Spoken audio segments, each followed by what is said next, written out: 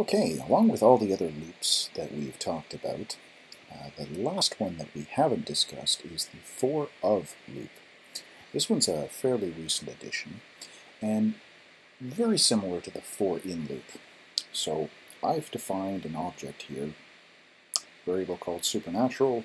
Inside the object there's three properties, actors, characters, and seasons. Actors is an array, characters is an array, and seasons is a number.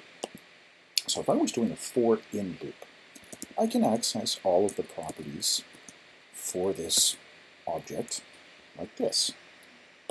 The first part is the variable declaration. So I'm going to use the variable prop.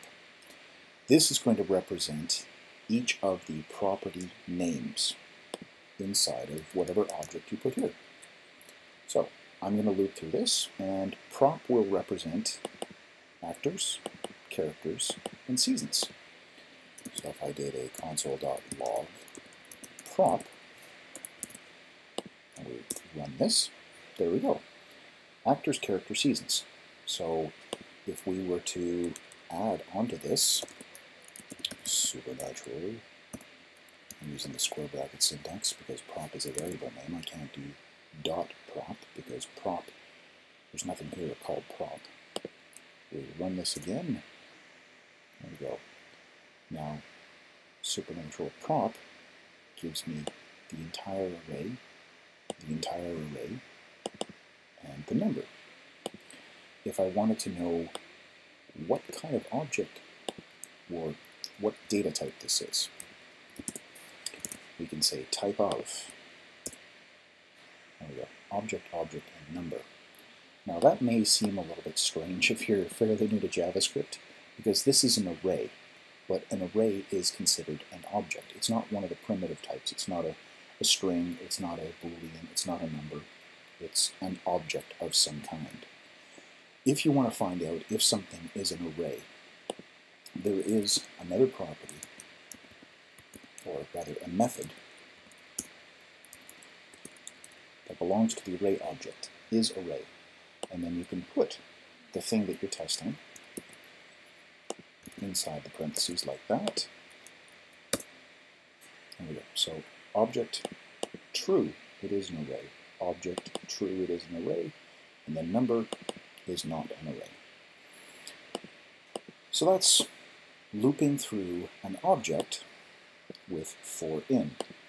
Same sort of thing happens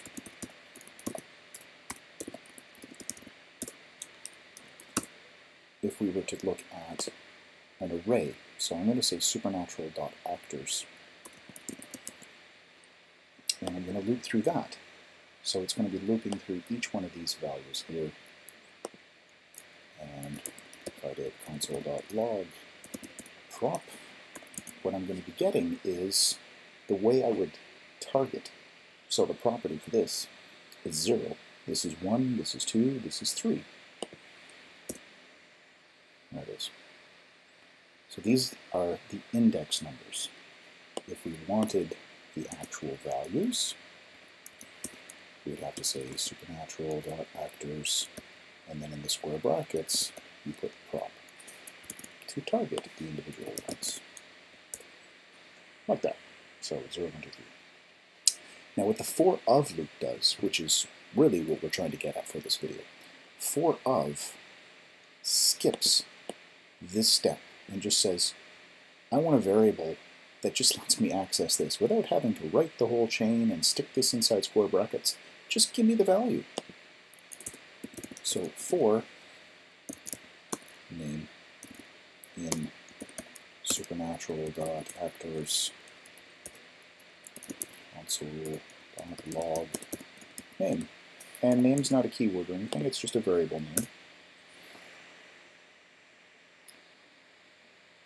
So the for in loop gives us the numbers. For of